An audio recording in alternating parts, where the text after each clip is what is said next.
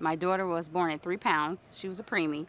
So by four, about about four pounds when I first came, Zoe had an acid problem. So the reflux, acid reflux problem. So she could never hold any, basically any milk down at that time. So my mom said, take her to La Rabida. So I brought her in to La Rabida and Dr. Chernoff was, was her attending doctor at the time.